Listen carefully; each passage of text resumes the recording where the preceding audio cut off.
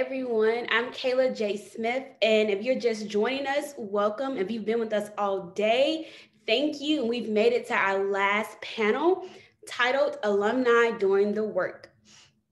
So, our first alumni panelist is my dear friend, Najha Zigbi Johnson. Najha was born and raised in Harlem, New York City, and is committed to Black power and building social movements through cultural and civic engagement work. Najha is a graduate of Guilford College and most recently of Harvard Divinity School, where she explored Black American social movement history and Black culture production as a presidential scholar. Naja co-founded and led the popular education student-led course, Freedom School, a seminar on theory, theory and practice for Black students, sorry, excuse me, a theory and practice for Black studies in the United States while at Harvard. She also co-edited the Joining Freedom School magazine. In addition to her academic background, Najha is a product of the Southern Youth Organizing Institute, Ignite, North Carolina, where she was heavily involved in statewide organizing efforts around the movement for Black lives. Currently, Najha is back in her, is, ooh, currently, Najha is back in Harlem, her forever home, with the Malcolm X and Dr. Betty Shabazz Memorial and Education Center, where she is helping to formally restart and grow the Institute as the director of the institutional advancement. Welcome, Najha. Thank you so much, Kayla. So our next alumni panelist is Mouhamadou Diagne. Mouhamadou Diagne is a Muslim chaplain and diversity educator with over a decade of experience promoting interfaith and cultural engagement at both liberal arts and Ivy League institutions.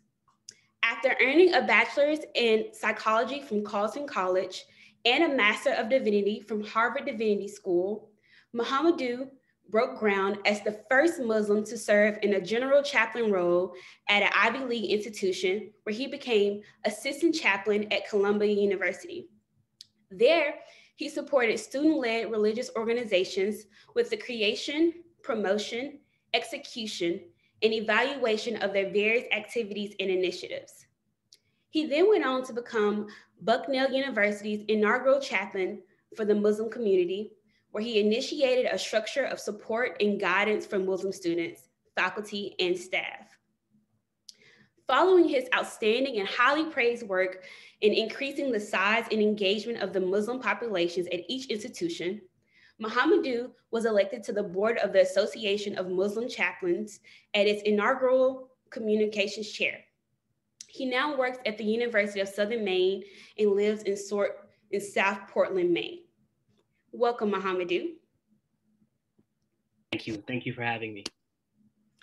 Our next alumni panelist is New York State Assemblywoman, Dr. Mathylde Frontus who represents the 46th Assembly District in Brooklyn, New York. She serves on six committees, including aging, children and families, economic development, job creation, commerce and industry, mental health, tourism, parks, arts and sports development, and transportation. Assemblywoman Frontus has a BS in social work and MSW from NYU an MA in psychology from Teachers College, Columbia University, an MTS from Harvard Divinity School, and a PhD from the Columbia University School of Social Work. She has been an adjunct assistant professor at Columbia University School of Social Work since 2016, where she's taught advocacy and social work practice, changing organizations and communities, influencing social policies and political processes, and stigma in mental health. And at NYU Silver School of Social Work since 2008, where she's taught advocacy and social justice and social work practice and political social work for advocacy and social change. Before her elect election to the New York State Assembly in November 2018, Mathylde was a community organizer and nonprofit leader in her community. Since 2004, she has founded a social service agency, two anti-gun violence coalitions, and an independent Democratic club. She has also helped form the Coney Island Clergy Coalition, a network of religious leaders who provide mental health and substance abuse referral services. Our final alumni panelist is Reverend Dr. Aaron McLeod. McLeod. Dr. Reverend, Reverend Dr. Aaron J. McLeod, McLeod is the servant leader of Gorham, Gorham, Gorham excuse me, United Methodist Church, an urban faith community serving the south side of Chicago, Illinois. Dr. McLeod is a gifted lawyer, administrator, and social justice commentator. Dr. McLeod is a graduate of McCormick Theological Seminary, the University of Iowa College of Law, Harvard University School of Divinity, and Morehouse College.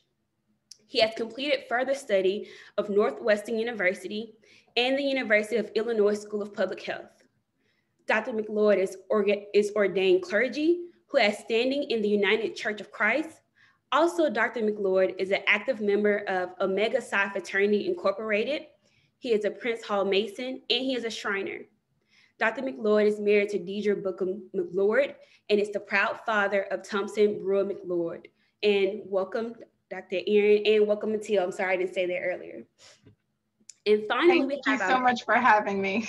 yes, yes. And excuse me, y'all, for butchering through some of y'all intros. I, like as soon as I started, I was like, ah, so my, my dearest apologies. Um, the moderator for this panel will be Chavis Jones. Chavis Jones is a proud graduate of Morehouse College where he studied philosophy. Chavis then attained a Master of Divinity at Harvard Divinity School, where he focused on the intersection of religion and social ethics. At Harvard, he was a fellow of the Harvard Graduate School Leadership Institute, a staff writer for the Harvard Journal of Human Rights Policy, and a ministry fellow. Last year, he graduated from Duke University School of Law, where he focused primarily on civil, civil and human rights issues. He was the president of the Duke Black Graduate and Professional Students Association, worked as an active investigations team member of the Duke Law Innocence Project, worked in the Wrongful Convictions Clinic, and currently serves as a national vice president of the Duke Black Alumni Association. He plans to ultimately use his education and life experiences to advance causes of human rights and to connect the human family. Chavis currently serves as a policy fellow at the Children's Defense Fund in Washington. Take it away, Chavis, and thank you all for being here. Thank you so much, Kayla. Uh, I'm really grateful to be here, and I'm really grateful for this conference and this space and all that it represents. Um, as I think about this particular conference, I think about the great leadership that went into making it happen on this occasion. So I thank Kayla and all the co-conveners who were a part of this. Um, and I think about the history of this conference. And so if you go back to 2016, I remember that particular moment in time. I remember the very first conference. I remember the very first meetings about that conference and the very first conversations about it coming into being. I remember all of the leadership from students uh, from Harambee, uh, the, the students of African descent at Harvard Divinity School, who have given so much guidance to this campus around what it means to honor Black life and to give true meaning to uh, our brilliance, our endeavors, our strivings, and our struggles. And if I could take you back just a year prior to that academic year, to the year 2014, 2015, I remember Harambee students hearing about the death of a young man in Ferguson, Missouri by the name of Michael Brown. Michael Brown's body was languishing in the streets for four hours when the whole nation heard about this young man, the 17 year old who stayed there for four hours as police officers stood watching by and his community members and friends and family washes his body literally baked in the sun for four hours while no one seemingly cared. From that, Harambee students took a 20 plus hour journey to Ferguson, Missouri during the weekend of Michael Brown's funeral. We stayed there and we advocated, we, we assisted, we went to the Red Cross Center where students were needing assistance. We, we were in the streets and we marched and, and walked and gathered and we did all that we could. From that, that, that following academic year when we got back, Dean Hempton and others on the campus at Harvard Divinity School immediately asked about us. They, they texted us while we were there. They, they actually cared. And there were so many things that happened in that campus over the course of the next year and the preceding years. They give face, they give voice, they give volume to the work of Harambee and of his alumni. If you remember, in 2014, not only was that the, the death of Michael Brown, but we experienced the death of, of so many others, including Eric Gardner, where there was a non-indictment for his death, including the death of Tamir Rice. In the following year, you saw Sandra Bland and the Emanuel Nine, and, and the list literally goes on. But that year, that academic year was bookended by the tragedy of Michael Brown, and it ended with the Baltimore uprising in response to the death of Freddie Gray. And so students were grappling with what was happening all around us, the bloodshed, the, the lack of a response from the university, the, seeming lack of a response from the government. And there was a great deal of desire to see something changed. And so, so many institutions and so many things developed on that campus, spawned by students. The Racial Justice and Healing Initiative came out of that. Uh, the HDS Forum on Ferguson and Race came out of that. It was a university-wide forum that HDS students led. Um, and this conference was in the long shadow of, of this year of bloodshed, of, of Black bodies languishing across this country um, due to police violence, due to state violence and vigilante justice. When that conference took place, little did we know the very weekend that it would take place uh, would be the election of Donald J. Trump. And so over the last five years of this conference, the entirety of this conference has unfortunately been under the guise of a president who we all know is now on trial for his second impeachment. And we've been existing in a state in which our lives have been deemed unvaluable. Um, and it gives some real voice to what this conference means and the voices of the individuals that you're here following mine. But Harambee students have always stood in the gap, have always cared, have always done the work, however that looks, that we've always engaged in the work. And so you'll see and hear five different iterations of the work, what it means to care, what it means to give so much of yourself to endeavoring to make the world a better place, particularly for those who find themselves situated on the margins. And so I hope uh, that you will get something from the lives of these individuals, what they've endeavored to do, and how they've represented the long tradition of Harambee students engaging the world to not just be a part of the solution, but to be lights, exemplars as the solution take hold and take shape. So it's my honor to be the moderator, and I look forward to hearing from these stories and from these individuals. With that, the very first person we'll hear is Najha Zigbi Johnson, who reminds us that she hails from Harlem. So thank you. Take it away, Najha. Thank you so much, Chavis, and apologies for jumping in early. I was so excited, um, but that was such a beautiful introduction to, to this panel. Um, so I'm starting out I'm the youngest panelist and the most recent graduate of Harvard Divinity School. I had the honor of graduating um, during COVID. And so I had one of the YouTube graduations, and it was a really um, difficult time. And I think it was reflective in many ways um, of my time at Harvard, which was magnificent um, and also wildly difficult. Uh, I will never not understand and remember the ways in which Harvard reproduces evil and hegemony and white supremacy and a lot of the things that we're actively working to undo as black folks as folks a part of the divinity community um, and beyond. Um, and also while at harvard i had a lot of really incredible experiences exploring black womanist theology and ethics black culture production um, and also Black social movement history. Particularly, I was moved by the work of the Movement for Black Lives and Ferguson organizing that happened. Um, and I really wanted to take my time while at Harvard to think through these, these, these historic events that shape Blackness in real time, both at a sociopolitical level, a cultural level, and also at, at a religious and spiritual level.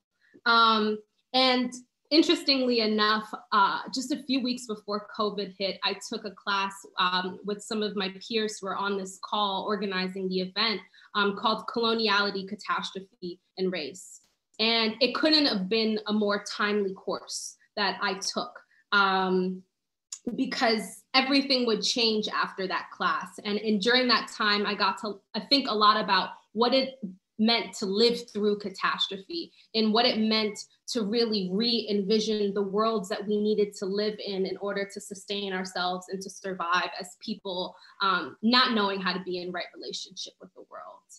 Um, and so while in the first few weeks of quarantine um, and COVID, I thought a lot about my time um, in that class and what we had thought about. I thought about catastrophe, and I also thought about a lot of the organizing and movement work that had taken place last spring. Um, I thought about the the uh, brilliant work of um, thinkers like Robin D.G. Kelley, who writes about Afro surrealism and abolition. I thought about the work of Jackie Wang, who I believe just received her doctorate from Harvard, and she writes a brilliant book called Carceral Capitalism. I thought about people like Angela Davis and a lot of my peers who were and are theorizing not only about the ways in which abolition is uh, a conceptual framework or a goal that we're working to achieve, but a social justice ideological model that we can use in our everyday lives. Um, and there's this one quote by Robin D.G. Kelley um, that Jackie Wang uses in her book, uh, Carceral Capitalism. And Robin says, What shall we build on the ashes of a nightmare? And it was that quote that animated a lot of my thinking last spring in terms of what I wanted to be a part of. Um, and I knew for me that this work meant rebuilding our community, rebuilding society, both at a global and local level, um, and, and really re educating folks um, so that we could activate the sort of future that was necessary and that is necessary because it was so abundantly clear um, through COVID, through organizing, through police violence, which is really as American as apple pie, that what we have doesn't work. Um, and, and that was what I was left with after completing my degree um, at HDS. And I remember one day sitting down uh, while I was deep in this new political iteration of my political education and development, thinking about Malcolm X. And I happened to be watching the Who Killed Malcolm X documentary series, which I imagine some of you have seen. And I had also just received the book Those Who Don't Know Say by Dr. Garrett Felber, who's another incredible professor um, down south. And it was in that moment that I was sitting next to my book and I was watching this uh, documentary series that I got a call asking if I'd wanted if, if I wanted to um, apply to work with the Malcolm X and Dr. Betty Shabazz Memorial and Educational Center in Harlem. And I felt like the most divinely inspired moment for me. It felt like an affirmation that I was in the right place, that I was doing the right things, but that most importantly, I was listening to my ancestors because part of my spiritual practice is listening to my ancestors, letting my ancestors guide me. And so it felt so good to get that affirmation. Um, and it felt like more than I could have asked for to be a, to be a part of the work um, that the Shabazz Center wanted to start, which was to reignite this organization that's been around at the Audubon Ballroom, the site of Malcolm X's death, um, and the site of the last year of his organizing work in Harlem. And so, of course, I said yes and it was the only thing that you know occupied my thoughts because it would allow me to really think about turning the sort of freedom school work that i was doing um, at harvard in, into a praxis into an everyday praxis in my community with my folks. Um, and it would allow me to be a part of the work of reactivating such a historic legacy. Um, and what felt more exciting, uh, or equally exciting, is that I got to start that work on the day of my birthday, which was another divinely inspired uh, day in many ways. And, and so right now, I'm six months into my work um, at the Shabazz Center. And I want to talk a little bit about what we're doing. Um, because it's so important for so many reasons um, beyond any one individual, I think a lot of folks know Malcolm X and they know uh, who he was as a minister with the Nation of Islam, and they know about him through that lens. But fewer folks know the Malcolm uh, who who was globalized and had an international lens, particularly because of the sort of work that he was a part of in the last year and a half of his life.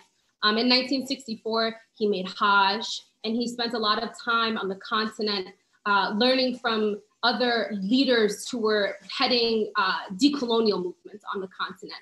And particularly, he was able to work with the Organization for African Unity, which was an organization comprised of different African nations who were in the process of really activating anti colonial movement work on the continent.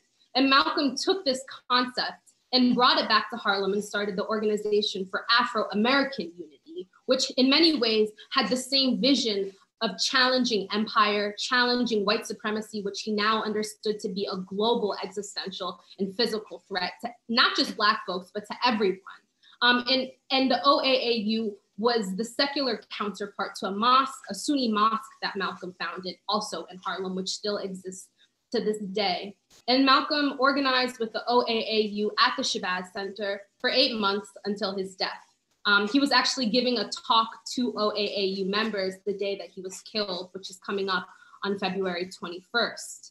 Um, and I share this because for us and for me, being able to excavate Malcolm's ideological vision with the OAAU, which sought to explore the importance of Black culture production, Black arts, education, self-preservation and defense, anti-capitalism, but also building Black wealth within our communities um, is almost uncomfortably true to this day because all of what Malcolm thought and all of what he put forth continues to remain relevant. And so, in so many ways, we're continuing to pull these gems from history and activate them in real time for the use um, of future generations and in partnerships uh, in partnership with organizations like the Movement for Black Lives, Dream Defenders, Black Men Build, um, and a host of other organizers who are really thinking about doing this work of rebuilding um, our society when the ashes have settled.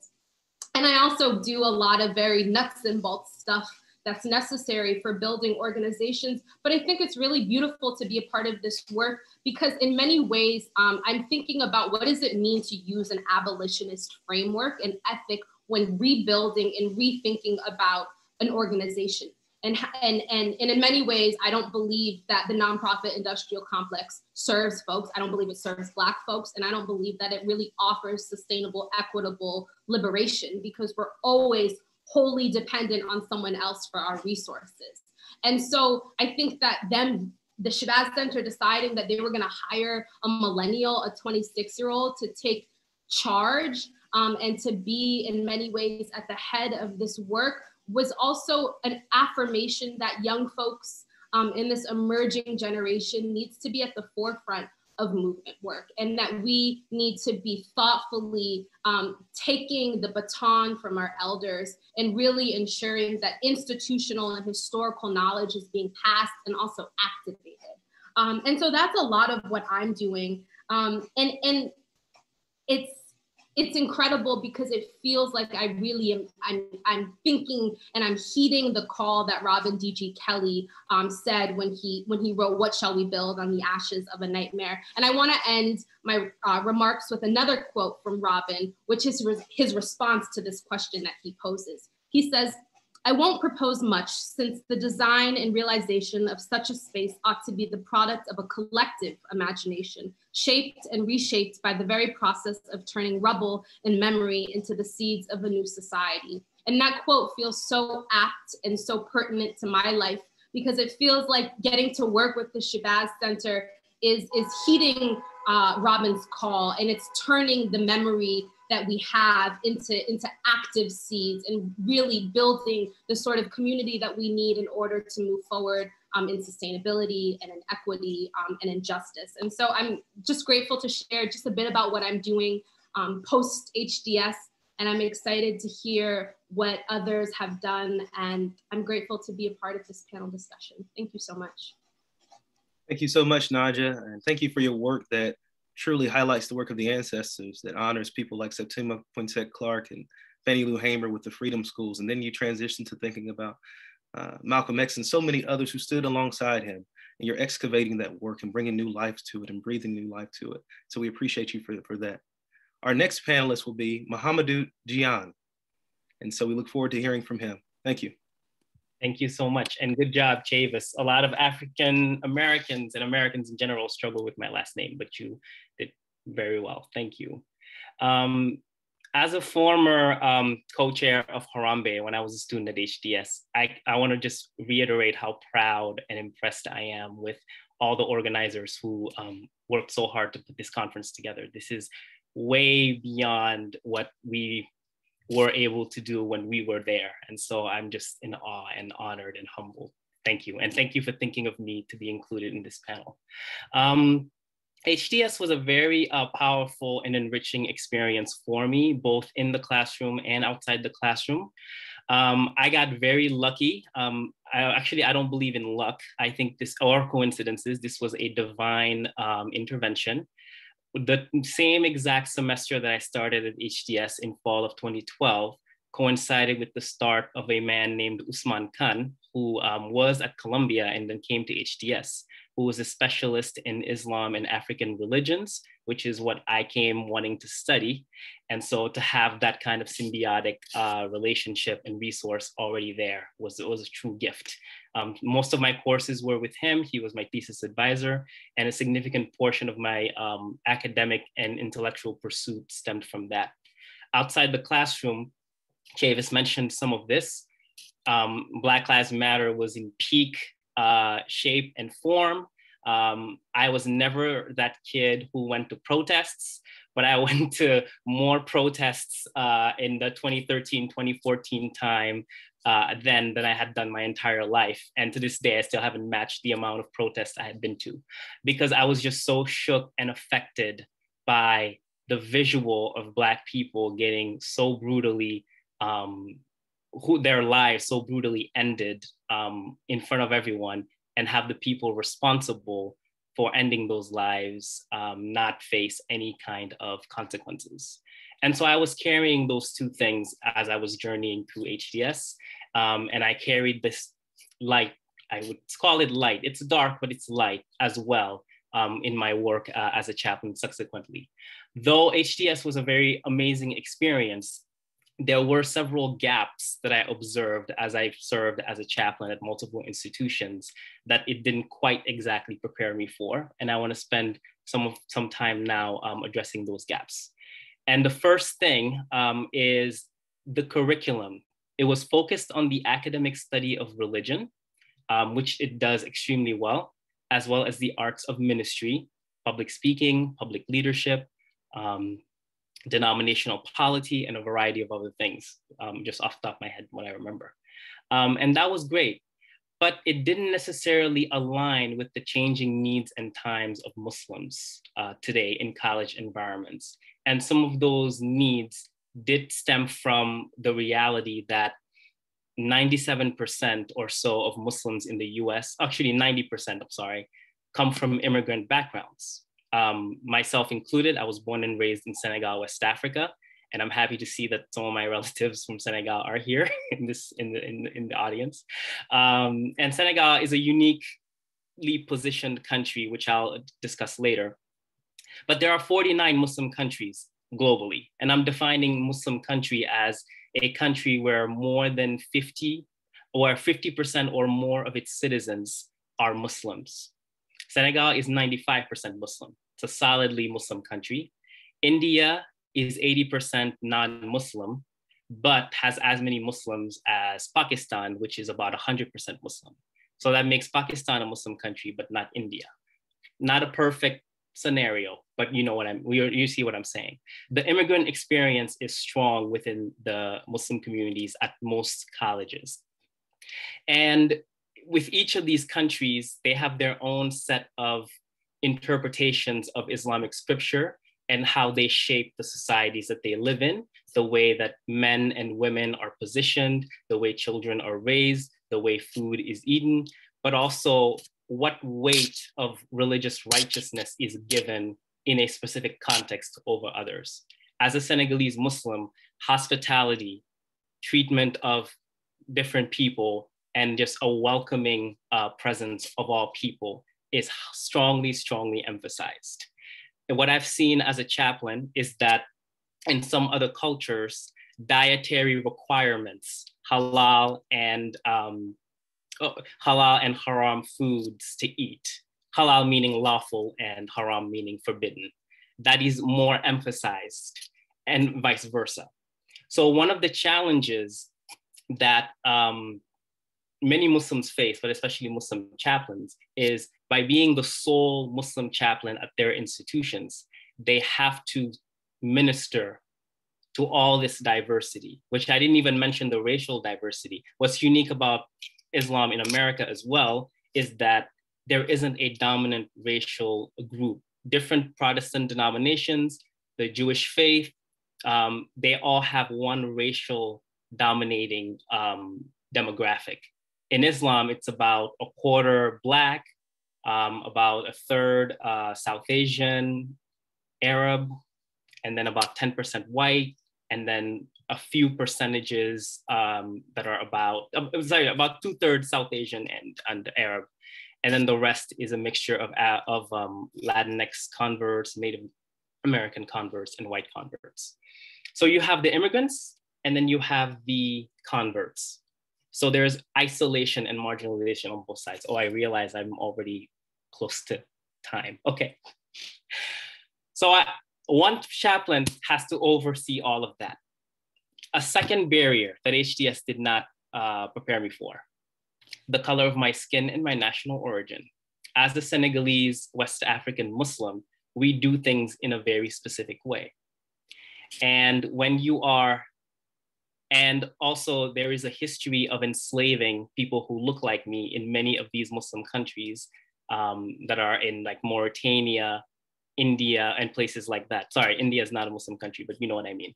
The transatlantic slave trade and then the, and then the Indian slave trade was prominent. So there is this inherited perception of inferiority of Black people that gets manifested theologically in the, in the fact that um, a lot of in Saudi Arabia, where the authority of printing Qurans in different languages is held, are refusing to print Qurans in African languages, um, for example. And that's a real obstacle when you're coming into a campus where the majority of the Muslim population is international and already carries a lot of anti-Black uh, bias towards you who is in charge so I faced some resistance there. And but to be more sympathetic, the resistance was also justified in that my start and continuation in chaplaincy also coincided with the rise of the, the person who was at the White House before the current guy we've had for about a month. And there was a rhetoric of Muslims are bad, Muslims need to be banned from coming into this country. Um, and seven Muslim countries ended up being forbidden to enter the United States. Like that, that was a success, which was shocking and terrifying. And so what, what did that bring? A level of anxiety, congregational anxiety, uh, hard divisions, black and white thinking, and an inability and resistance to exploring true learning and imagination because it became about survival. And when you're in survival mode, it's very difficult to internalize new information. It's very difficult to impart the fact that Islam is a very broad, diverse, inclusive religion when people just want right and wrong. And usually, right means what they do back home is right, what everybody else does is wrong. And so that was another barrier. But it was an understandable one, again, because your anxiety does things to your brain, it shrinks and so, how do I navigate that as a chaplain? Not become the anxious presence that your congregation is. And so, that would mean not necessarily establishing a barrier, but knowing where you start and where you end, and not taking on and becoming um, the thing that you're supposed to be ministering to. And so, that's been a huge lesson from HDS that I was very thankful for. Um, but one community that I didn't experience the anxiety um, stood in contrast to the colleges that I served, and that was the Association of Muslim Chaplains. As um, Kayla read in my bio, I ultimately was elected to that position um, after shortly after I, I left my last chaplaincy position. And that was because the contrast in experiences was so different. These were religious professionals who had all received the same training I had. The majority of the organization was Black chaplains um, because before um, Muslim chaplains started getting trained at seminaries with MDivs and stuff, it was mostly uh, African American uh, chaplains who were just doing the work in prisons. Prison chaplaincy was the original Muslim chaplaincy, and then it branched out to hospital chaplaincy, um, um, college chaplaincy, community chaplaincy, even uh, law enforcement chaplaincy, and now corporate chaplaincy, which is actually I would love to transition into that, but that's a different story. and um, and yeah, it's just been it's just been interesting seeing a lot of of challenges, but also a lot of growth. And I will just end by saying that um, stepping away from chaplaincy, um, you know, I was ready to just transition to a more general role, but then I see that we're in a global pandemic. And as you read in my bio, I now work as an admissions counselor, and admissions counselors travel. We travel to different high schools all over the country, and we tell students you should come to our college because it's the best one, right? Not being able to do that and suddenly being tied to the screen, um, and then the pandemic coinciding with the second iteration of Black Lives Matter, um, I'm starting suddenly starting to get more offers different chaplains, different mosques suddenly want a Black imam or chaplain to come speak to them about race in Islam. So I started getting all these bookings all of a sudden. And because I don't have to travel and I just have to log on, I'm able to attend to them. Uh, I also, and this inspired me to go back to school. So I started a doctorate of ministry at the Pacific School of Religion that I suspended in favor of a master's in Islamic leadership at Boston Theological Seminary and it's teaching me a lot of the religious content that I didn't initially have um, at HDS, which I'm very grateful for. And as of last month, I just became a wedding officiant for the Muslim wedding service, which was started in NYU.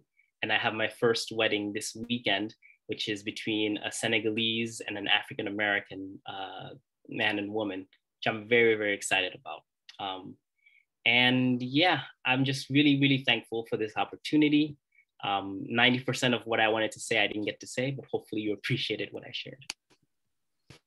Thank you so much, Mouhamadou, for your trailblazing work in, in Muslim chaplaincy um, and for really being at the nexus of that work in a very important time. We, we understand the last five years have been difficult with Muslim bans and the like. So we thank you for that. And we thank our first two panelists for starting us off in excellent fashion, Najha and, and Mouhamadou. And so now we'll get to our last two panelists. Uh, Assemblywoman Mathylde Frontus, we'd love to hear from you about your work. Thank you. Sure, and thank you again, Chavis, for having me. I'm just sitting here with a really big grin on my face. Um, I sent some greetings in French to the relatives of uh, Mouhamadou uh, and told them bienvenue. So I hope that they're that they saw my comment. Uh, just really kind of beaming with a lot of pride um, at what I see here tonight. Um, I see Reverend McLeod shaking his head. Um, he and I were students at uh, HDS approximately 20 years ago. Um, I was there from 2000 to 2002. And I think about what brought me there, uh, the work that we did when we were in Harambee, and seeing what Harambee has become, I, I just feel very hopeful and very happy to see that the work continues and there's a whole new generation. Admittedly, I, I, I'm not terribly happy because I realize I'm getting older and there's a whole new generation now, but it's all with uh, with fondness. Um, I appreciate the opportunity to reflect out loud about my work. You know, one of the things that excited me when I got the invitation to talk on this panel was just the framing of it and this idea of like alumni doing the work. Uh, I often joke that in African American community, we use a lot of buzzwords with each other. You know, when we see each other in the street, we're like, "How's it going, brother? What's what's going on?" And we'll say like, "I'm in the struggle." You know how we do, you know, or things like that. But what does that mean? You know, what does the work mean? Um, and I think for me, I'll sort of keep it brief, mindful of the time, and then would love to hear any questions. I want to say that sometimes, you know, decisions that we're born into obviously shape the trajectory of our life's path. And whenever I talk about my life's work, I often start with the fact that I'm a daughter of Haitian immigrants. I'm a first generation American who was born to um, a 27 year old uh, couple who had just gotten married and were not from the US and had to learn everything from scratch. And they came here in search of the American dream. Uh, and we, I was born in Brooklyn in Crown Heights, uh, but my mom and dad moved to Coney Island in 1985, where they came to purchase their first home, which again is part of the American Dream home ownership. And in moving to Coney Island in 1985, I was the eldest of their four kids. I was seven years old. And I often think of my life's work beginning as that young girl that moved to Coney Island at seven years old. I was very observant and was always, you know, looking around me and trying to make sense of the world that I was in. And I noticed right away when we moved to Coney Island, I was just fascinated by the kind of community that it was. You know, Coney Island is a place that is his world, which is known worldwide for its amusement. You know, people know us because of our amusement park, because of our roller coaster, because of the beach and boardwalk. But few people know about the community that is right behind the amusement park. And um, I remember vividly, you know, um, hearing gunshots, you know, things like that. I grew up in the time when prostitution was sort of, you know, had a hold on New York City. And I remember sort of what it took to sort of uh, work through that over the years. But I always viewed those issues in terms of the sort of um, disparities that Black people have faced over the years. And even as a child, and when I started high school at 12 years old, I remember speaking to the adult in my school and asking questions and saying, you know, I want to help my community you know, I want to do some work in the tradition of Malcolm X. Uh, really happy to hear Najha's comments tonight. I have been talking about Malcolm for many years since I was a preteen and saying, you know, I just, that's the vision that I had in my mind for myself. And I think that that was the universe's way of just saying that that was my calling, that I knew from the time I was a child that I was born to be an activist. Because what could you possibly know about that as a child? I didn't know what being an activist was, but that's my understanding of myself that I had as a little girl without re- even really understanding the full implications. So that's kind of what set me off to my journey a combination of living in a historically marginalized community with a lot of poverty, a lot of crime, and really trying to make sense of that. But then knowing that when I traveled to other neighborhoods, that things were a little different and I saw people getting treated differently.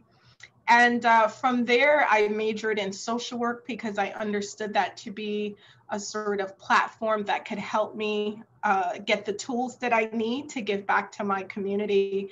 And um, I just started on this upward trajectory of going to the NYU School of Social Work. I came to HDS at the very young age of 22. I was I did my third master's then because I knew that I eventually wanted to do a PhD. And back then, uh, in the year was 2000, I had done some research at Columbia at Teachers College before I came to Harvard, looking at religiosity and spirituality in terms of its protective factors. You know, I was doing some research with some scholars at TC, which found that youth which had, you know, who had faith or who had aspects of religiosity, that that was able to serve as a buffer to many of the issues that they were dealing with in their life. And that just really fascinated me. So that's i came to to harvard on that sort of academic bent but it turned out to be so much more than that. And what i'll say is that since then um, HDS really gave me the sort of scholarship access to, you know, a university where I could see myself, look in the mirror and see myself as a young a scholar, as a thinker, as a person who read as many books as I could get my hands on to understand more in terms of the plight of people of African descent. And the minute I got back home, I just fully embraced that role of an activist. Um, I would was involved in anything that you can think of. Even when I was at HDS, I don't know if some of my uh, former classmates remember, I was always sort of volunteering, looking for projects to be a part of.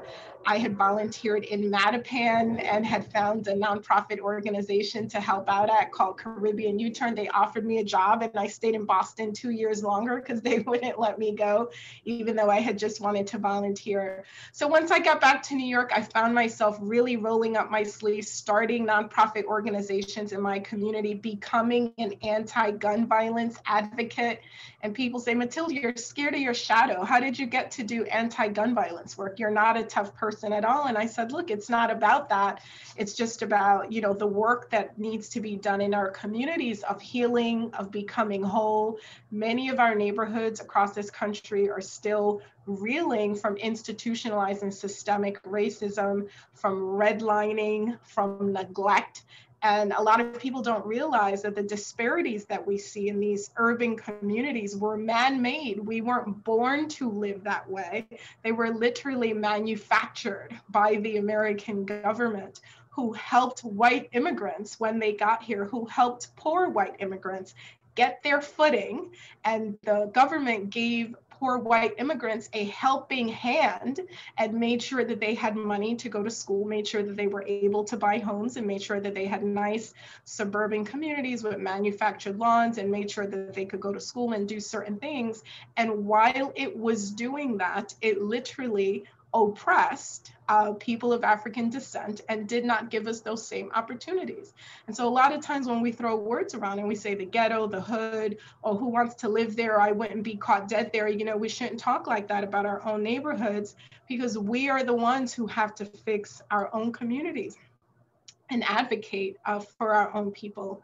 So it's just really been uh, really an honor and a, a privilege uh, over the last few years to be hands-on in more ways than one um, starting all sorts of groups. I'm born to be a community organizer. I think that it's a gift that I have to bring people together. If you put me in a room with 100 people, by the time we're done, I would have gotten the mothers together, the dads, I would have organized the kids. you know, everybody's going to have a project, everybody's going to have something to do.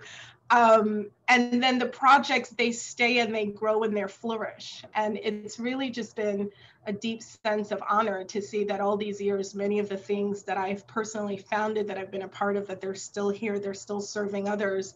Um, and that was the foundation that I used to spring into politics. So now that I'm in this new chapter of my life as a state lawmaker, as a legislator, I see this as just another iteration of everything that I've been doing. It's another way to help my community, to help my people, to use, as I like to say, the halls of government, uh, which historically were used to oppress people. And now we have to use those same halls of government uh, to liberate people and to pass policies to promote equality. Um, so that's just a little snippet in terms of how I got here. Um, and I think I see myself as just an ongoing agent for change. And I'm always sort of having my hand in different things to uh, push our people together for collective uh, well-being. Thank you so much, Mathylde, and for your excellent work and uh, for your engagement in community and being really passionate about service. Uh, I think it's really resonant for a lot of people in the conversation that, that you've engaged in so many forms of service and that you've built things. Um, it's an important aspect and that you've also turned back to community. And so I hope that's a, a resonating feature of, of, this conversation and a thread that comes through our first three panelists. Their, their real engagement with people and communities that look like them, who have experiences like them, and, and those who don't. Um, so thank you for that. Our last panelist is Dr. Aaron McLeod. And so we look forward to hearing from him.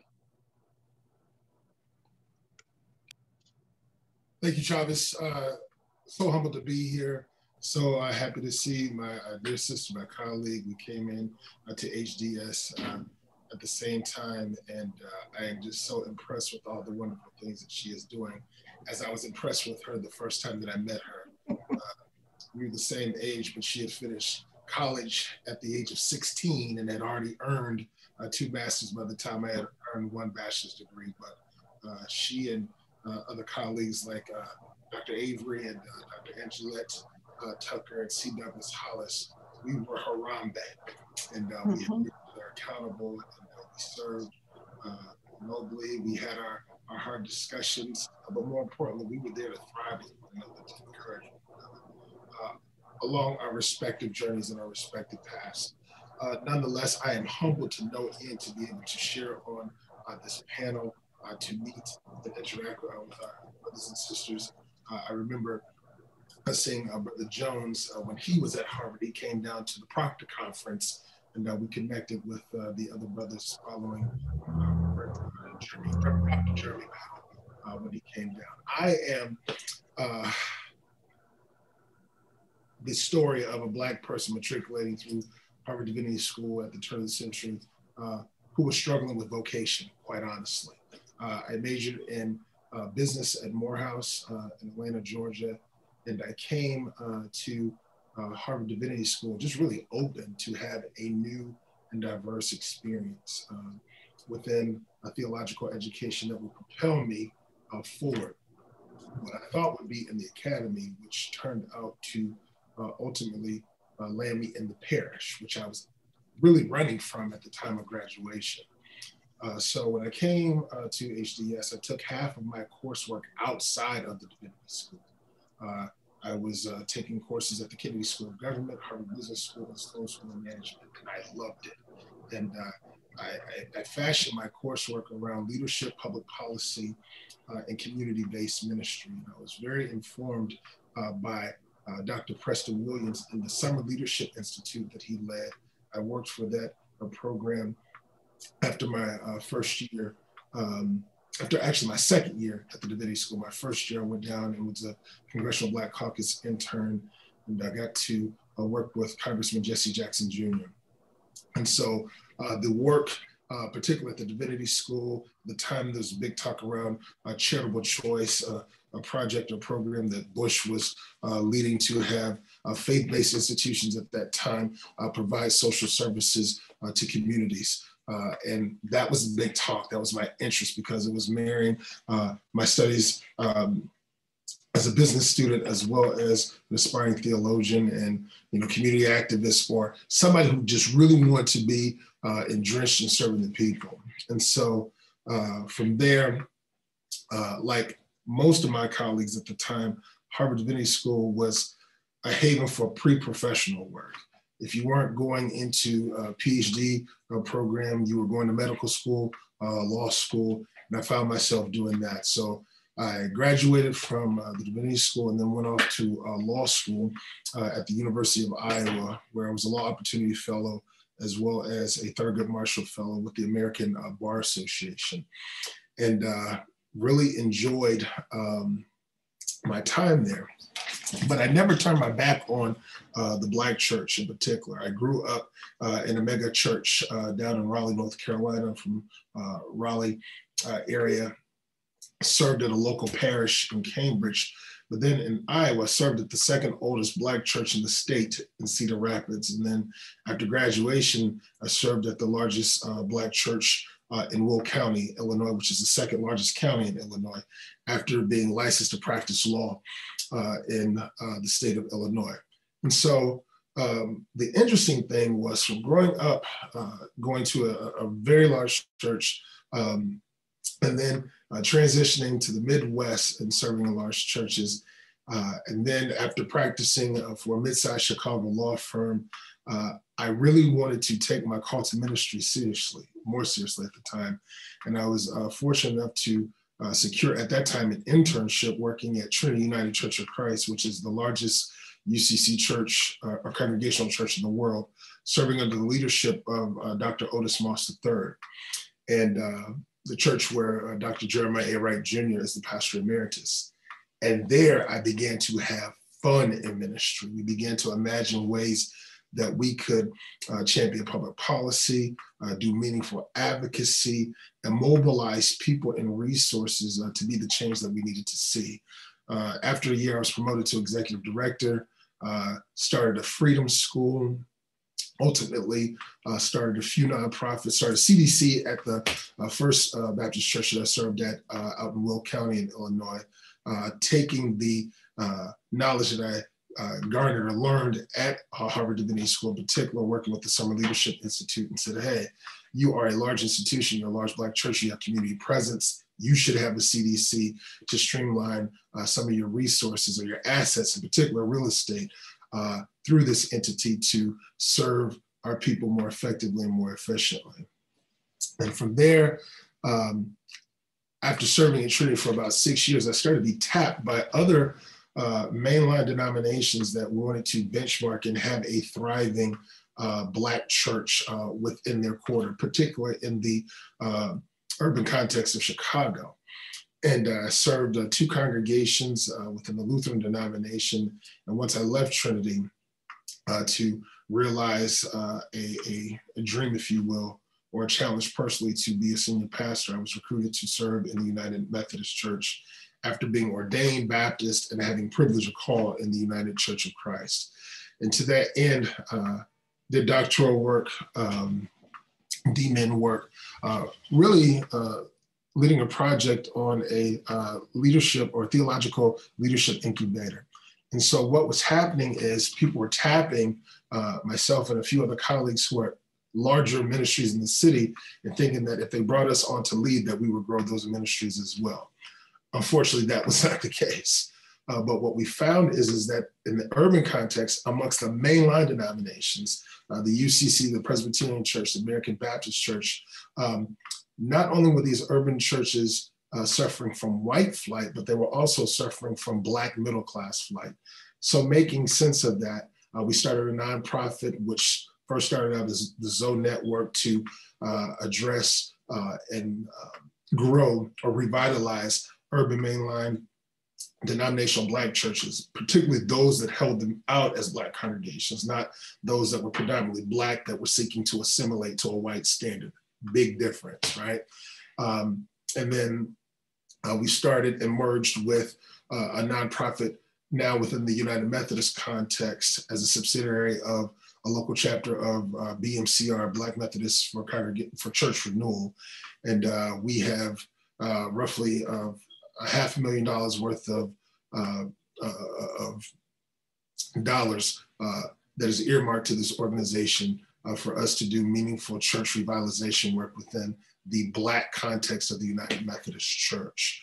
So since leaving HDS, being open, uh, thinking that I was going to go and be a high-powered attorney uh, in some business district in one of the various cities. I'm still here in Chicago. I still practice law. I have my own practice, but I'm really committed to doing the work of the church to preserve uh, the Black institutional church that is uh, committed to uh, championing a liberating gospel uh, for people of color.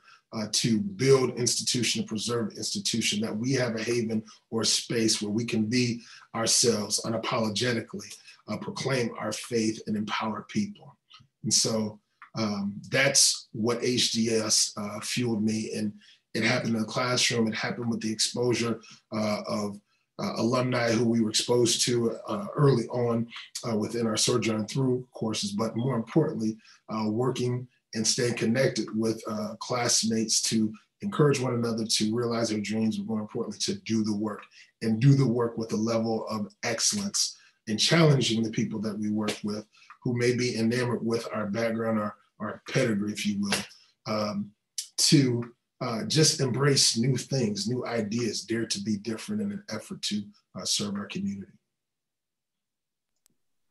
Thank you so much, um, uh, Aaron, for, for sharing that with us and for your tremendous work at the intersection of faith and the law. And uh, we thank you for holding high that banner of, of service. And so we definitely appreciate that. And thanks to all of our panelists uh, for the exemplary conversation that we just had between one another. Um, we finished about three minutes early and we have 20 plus minutes for Q&A. And so we look forward to engaging your questions. Chavis? Chavis, um, yes. Mm-hmm. Chavis, I'm sorry, forgive me. I wanted just to give a special shout out to a name that was left out. She's here saying hello to Aaron and I, Dr. Monique Moultrie. She was part of our class, uh, the class of 2002.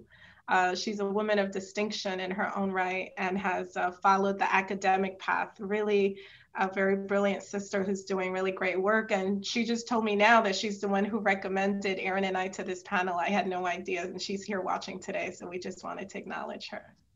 Thank you, Dr. Monique. Thank you. That's amazing. And so you see, I mean, the Harambee connection and the thread of continuity remains throughout the years. And so that's ex exceptional to see how those things come into being.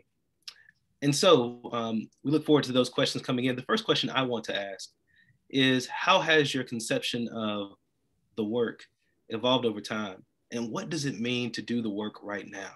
What does it mean for you to do the work right now? And so we understand the conference uh, theme around activism and, and Black life, and we understand what's going on in our country right now, which is the very tip of the iceberg, the insurrections, the impeachments, all of those things. But what does it mean to do the work right now, and how has that evolved for you over time? Thank you and any of you can answer uh, that particular question. I love your, you always ask very spicy questions right away, Chavis. uh, I'll start. Um, there was a stark, the world really changed um, in 20, November 2016. There was a overnight, it was a different time. And the world changed again uh, last month. And Black Lives Matter happened many, many times in between. And I think the approach has to be different now um, because there's a little bit more stability. Um, I always say that we can't react, we have to respond. And respond requires preparation and deliberation. We always have to act deliberately and thoughtfully, um, which all my panelists, mashallah, have demonstrated so well. Um,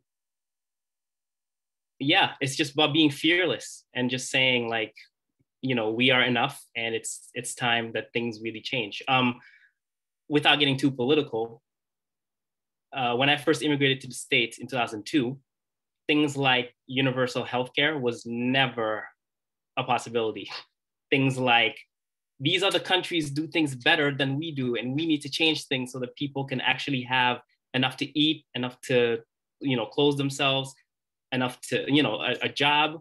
Those are very Christian principles that I don't think um, our political structure had really prioritized and even put on the table before now.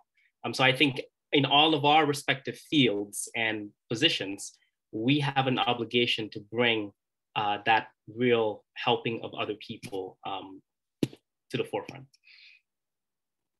I can um, repeat something I said earlier that I've always seen my life in terms of like a book of chapters, you know, um, I'm going in one direction, but the work is going to look differently every stage of my life that I'm in. So when I was a student, um, you know, we're not working, we're doing all that being a student entails, you know, the work meant fellowship with other people um, that look like us. It meant giving back in whatever capacity. I think since I've been in the eighth grade, I've been volunteering and being involved in community. You know, in high school, I was one of the founders of an organization. In college, when I got to NYU, I started an organization. I was doing that as a student.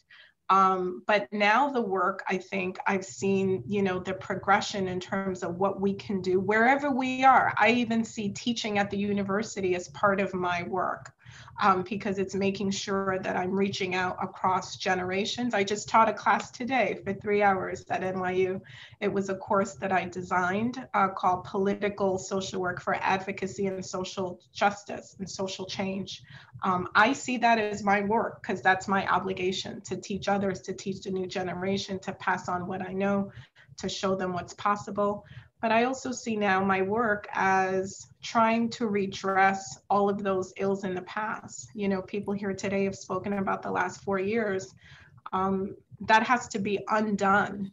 Every generation has to fix whatever was done before. Um, so, one of my bills was just signed into law by the governor, and I'll end on that note the Central Park Five uh, bill. Uh, if you're from New York City, you know very well about the Central Park Five. It was a big case many years ago. Um, I was a little girl, so I don't remember it firsthand, but I certainly grew up hearing about it where these uh, boys, uh, Black and Latino boys, were coerced into giving a false confession um, to say that they had uh, raped uh, a white woman in Central Park, which we knew years later they did not do, but it was way too late. They had all served jail time.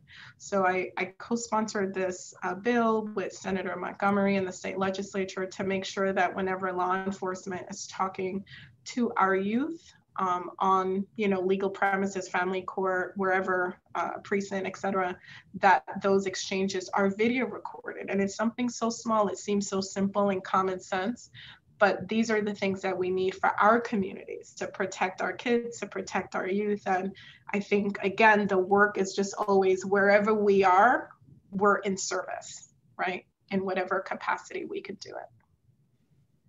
Thank you for that. I'll respond, Chavis. Um, I, your question is really good, and I'm thinking about it in a really broad sense. One of the things I thought a lot about while at HDS, and I continue to think about, is uh, Black liberation theology and the the work of the late great uh, James Hal Cone. And particularly, I'm always grappling with and thinking about his idea of what it means to be human and as Black folks, we live in a country that arguably still doesn't see us as fully human. And we know that part of the founding of the United States only dictated white land owning men um, as able to embody their full humanity. And so this has been a constant struggle of, of Black folks, of, of immigrants, indigenous people, so on and so forth.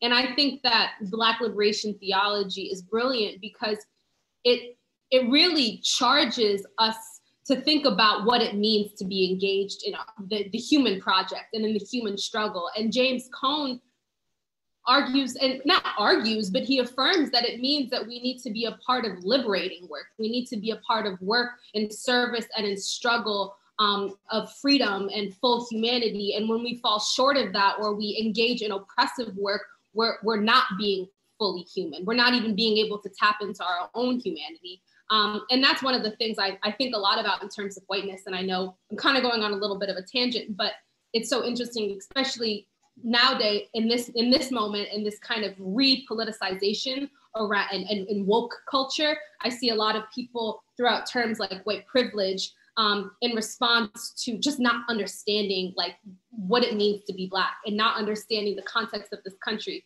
And i often say okay yeah that's a start but really what i see a lot of white folks doing is not being in touch with their own humanity because they're complacent um, or because they're they're able to, to to so easily be a part of really oppressive and violent systems and perpetuate this sort of violence that falls short of honoring humanity. And so I say that all to say I think part of doing the work whatever that may be is this is is heeding the call of liberation theology and i'm talking about it within the christian context but i think that liberation theology um, is something that permeates all religious traditions. And, and it's something that really speaks to the essence of humanity. And it's something that honors our full humanity. And it's a struggle to, to do that in this world when we're denied so many basic human rights, when we're denied our full humanity. And so that's one of the things I thought a lot about. And I hope through this work um, that I'm doing that and I'm heeding that call. And I know that, you know, everyone on this, on this, on this call in their own ways and through their own work is, is heeding that liberationist call. Without question, just echoing the sentiments of my dear sister. For me and the work that I do, if there's no liberation nexus or context, I wouldn't even do it. It wouldn't make any sense. Uh, we are to lift as we climb. We embrace Ubuntu. Um, this whole notion of uh, uh, of just innate, but more importantly, not innate, but authentic service uh, to people who we're in partnership or people who we are in fellowship with uh, to build stronger and safer communities, to be the replication or the uh, embodiment of the beloved community. Thank you for that question, for that answer, and those for those great answers there. I'm wondering, um, and we have some great questions that have come in uh, thus far. I'm wondering, in this moment when we're thinking about all of these high level things happening in our country and in our world, how do we deal with the issues that are beneath the surface? Pauli Murray, an often forgotten ancestor, her autobiography, her memoirs are titled Song in a Weary Throat. And I'm wondering how do we keep track of those voices, those who have been rendered most silent in society, those who have become most invisible in our society? How do you keep track of those individuals in your work? Um, how do you hear from them? And then how are you capable of broadening the horizons of your concern? How are you doing that on a daily basis and yearly basis, trying to keep track of those who are on the margins? What work do you do to stay connected to those at the bottom uh, or those on the margins? Oh, I started last time, and but because there's a lull, I'll start again. Um, this is gonna sound a little uh, pompous, but I have a feeling that just my mere presence in certain spaces that people like me weren't expected to be or didn't deserve to be or weren't allowed to be. I think just me existing proudly and humbly and confidently, um, that already makes a big difference. Um, I've seen it in my work as a chaplain. I've seen it um, a couple weeks ago too. We had our um, annual members only chaplains conference, and I helped along with some others broaden the scope of what a Muslim chaplain looks like to people who don't know what our work is. And i have a feel and i feel like in our own ways everybody on this panel is doing that. Obviously it's not enough. You also have to speak up and speak truth to power which i think is second nature to um, any of us. Um, but also living a long life. I mean um, or making every day that you're alive count. Um, I, will reframe that. Yeah. You know, um, serving with uh, Otis Moss uh, the third for eight years, he challenged me to embrace this concept of divine imagination, that we imagine the possibility of uh, seeing those, ourselves included, uh, living in a situation or living in a reality um, that we may not be able to realize now, but or, or conceptualize uh, in our current state. And so, uh, to that end, I'm here. My, my church is in Washington Park uh, of Chicago. Uh, the way I live now is very different from the way that I grew up. Uh, my family, um, they were the integrators of uh, white neighborhoods and the badge of honor uh, in particular for my mother, who I love very much, is that, oh, we're the only Black family here and we have the biggest house. Uh, doesn't mean much today, being that I live in a segregated community uh, and the majority of uh, the clients who are served are African American. Uh, not all of them are resource challenged, but we live amongst each other. I'm feeding, or my church rather, we are feeding people on a daily basis, and our numbers of families who we fed have gone up in pandemic. Uh, we partner with uh, University of Chicago Woodlawn Charter High School uh, to feed indigent students there as well. So, um, but just not the what I would call the simple things, or the things that are easy for us to do. It's also imagining the harder things uh, to get done uh, to empower people who ordinarily would not come through our doors or who don't come through our doors now. How do we make ourselves relevant within the ministry context with people who don't um, or can't relate to high church or even to relate to good traditional black church. Uh, so uh, the continuous struggle uh, to be uh, relevant and to be effective and uh, sometimes do the work fighting through tears when you, you, are you're, you're fighting through uh, the tongue lashing when people are mischaracterizing your motives and your agenda when the only thing you're trying to do is help somebody along the way so your living uh, is not in vain. Maybe one more answer on that question. We'll take both of you since you're both so generous. no, I mean, I think anything that I would say uh, was just said by our, our dear brothers here. I mean, um, it's really our obligation. Uh, Najha talked earlier, uh, which I'm sure resonated with a lot of us in terms of, you know, listening to the voices of our ancestors. I I often view myself as bearing that sort of personal responsibility as well, right? To convey to others those forgotten and marginalized voices like it's just incumbent upon us. And that's how we stay connected to the past. We have to always tell those stories. It's just it's a very personal thing for me you know like i was raised in a household where when i was a little girl you know i understood like my my history. My father taught it to me. You know i could talk to you about the the West African slave trade and how we became Haitians. You know, we're not even native to the island of Hispaniola. We were essentially taken, we're the Dahomey people who were brought there to the Caribbean against our will. And all of those things are very important. There's so many voices that have been forgotten about, so many freedom fighters uh, so many who fought for our liberation. It's just really our obligation to keep those voices uh, front and center and to remind every young generation, especially in our inner cities. I mean, if we talk about that, I'll get upset, but there's no real authentic Black history or learning happening. And um, to live in a racially hostile society, which promotes propaganda of Black inferiority, um, you know, they'll have us just not with nothing in our heads, frankly. We have to fill up the brains of Black children with information that we want them to know. And that's how I see it. Najha, we'd love to hear from you on this question as well. Um, I mean, I, everything that everyone has said, um, I think, how do we keep track of those on the margins? One of the things I often think about is this applies for folks who are currently in school, what it means to be at an institution, but not of the institution, um, that we can be um, students at Harvard, we can be alumni of Harvard, and that comes with real social capital, institutional access, um, proximity to whiteness and, and, and uh, money. But I think keeping track of our humanity and keeping track of the work that we do means that we don't become of Harvard. Um, and it allows me to stay committed to the values um, that drive what I do. Um, and, and, and, you know, I'll just, for an example, my work um, with the Shabazz Center, one of the things I constantly think about is the way in which Malcolm X's legacy has sort of been shrouded in a sort, um, a type of cultural nationalism that's rooted in many ways in patriarchy, misogynoir, that hasn't historically made space for women, uh, queer folks, trans folks. And so what does it mean now to, to broaden the scope of Malcolm's legacy so these voices, these analyses can be included in how we honor Malcolm um, and his work and how we activate it.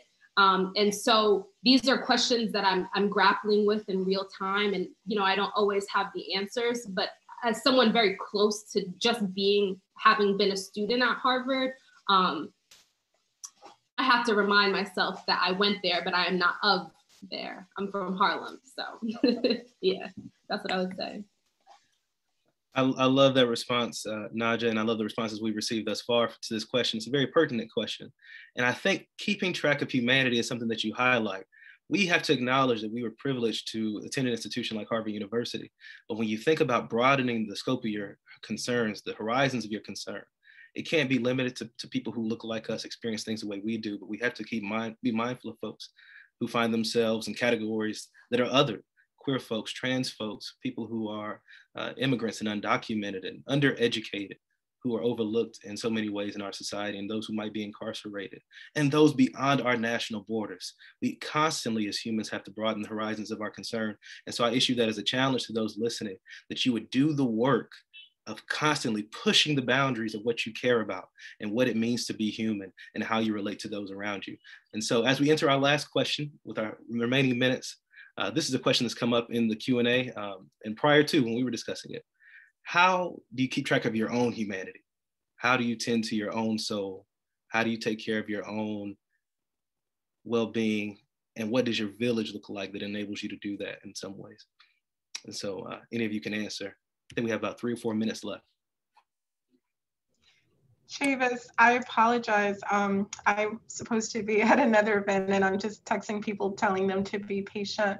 Um, I, would rather hear from others because I don't, I don't really, I'd be lying if I said that I have a, a, a regimen. I don't, I just do the best that I can. Um, one thing that I will say though, for anybody out there watching who's interested in politics, it's not for the faint of heart. Um, I kind of grew up, you know, in Brooklyn, a big city, but like a small town girl, you know, very sheltered, very sort of like textbook um, Haitian family, very, very sheltered and protective, and was just really trying to like do the work and caring about my people. And then I got into this line of work and had to experience a lot of things uh, that till this day I've never fully recovered from. You know, there's a lot of trauma involved just in running for office. Um, the sexism, the racism, the blatant um, oppression. Uh, a lot of people out there are not very happy uh, when Black people run for office, when we're trying to you know exert ourselves and there's a lot of control behind the scenes with people who think that they know who should be in certain seats and it's just made for a very um, emotionally traumatizing experience uh, and very toxic so when you talk about taking care of myself this experience that i'm talking about it's like 24 hours it's seven days a week so i don't have the luxury to like you know plug plug away um, unless if i get on a plane and go somewhere uh, which my favorite place now is West Africa, by the way. I miss being able to travel very much uh, because of the pandemic. But a year ago, I was in a Senegal and Ghana and have been sort of my personal happiness now comes from traveling from country to country. And that's what kind of calms me down with all the nonsense that I deal with here. Uh, but can't do that now in the pandemic. So I think it's just day by day, deep breathing, doing the things we like, relying on friends, family, love, and everything else. Thank you so much. Uh, a few more responses in, in, the time we have remaining. I agree. Uh, oh, sorry. Uh, I'll just say my sentiments are very similar to uh, Mathylde's. Um, balance is hard, uh, and sometimes we uh, take it upon ourselves to be any and everything to everybody, but it's not worth it. while you're in school now, if, if you're a young alum uh, or, or, whatever your connection is to the network, practice self-care. Um, things will get done. Uh, breathe, drink water, uh, but it, it, is, um, don't believe the hype. As our sister said, you know, um, our experiences are different. There is going to be stress. That first time that you learn that um, your Harvard degree, in light of the person you are and the skin that you have, takes on a different kind of connotation for somebody who is white and male, that may be shocking because you have sacrificed a lot, um, you're given a lot, and uh, racism is alive and very well. Um, but you all, uh, we all uh, have been um, pruned and um, encouraged, and we, we've been through it uh, and been prepared to go and fight the battle. But sometimes you got to take a, a break, uh, recharge yourself, and go back. And uh, love is a great gift to give and to receive, and uh, be in fellowship with like minded people. So, balance is something that I know I struggle with, but take my exhortation, uh, do it and do it well. Work at having balance because you'll burn out. Absolutely. Uh, first of all, uh, Assemblywoman Mathylde, I know at least five people who are Senegalese who live in Harlem who would be happy to have you over for Senegalese food anytime. And um, as far as answering the question, um, as chaplains, we're really bad at this, okay? but so now I feel like I'm finally able to take care of myself because I had been, I didn't realize this, but I had been carrying a lot of exhaustion and trauma from who was in office before January 21st. And I didn't even realize it, but it was weighing heavily on me. Um, now I feel like I can breathe again. I'm starting to bake again, which is something I love to do. Um, I also, um, you know, I'm going out to the gym regularly. It's double masked, of course, and I clean after every using everything because you know COVID. Um, but it's yeah, it's been hard. It's been hard. Um, but just realizing that um, again, I'm in this mode now where I just want to live peacefully and quietly, and so I do what I can to achieve that. Um, because if I don't, then I won't be able to help help other people. It's like we all know this intuitively, but then doing it is really hard, um, as my panelists have already said. Lastly, Najha. Oh man, I'm just taking it all in because I just started working. Like I'm the baby on the panel. Um, honestly, self care, like everyone said, it's hard to practice. It's easy to talk about. Um, at this point, for me, staying sane means investing in my skincare, investing in my hair routine, doing two deep conditioning treatments every week. Um, for me, that's what it looks like uh, because it's hard and, and staying um, and, and not not feeling overwhelmed when when you kind of I sometimes I spiral at night. You know, I think about the amount of time I've spent alone and how COVID, you know, might get someone that I know um, but I think it, what I've been realizing is it's in those moments of sort of um, releasing to the deep despair and um, grief that I feel that I, I find kind of the other end.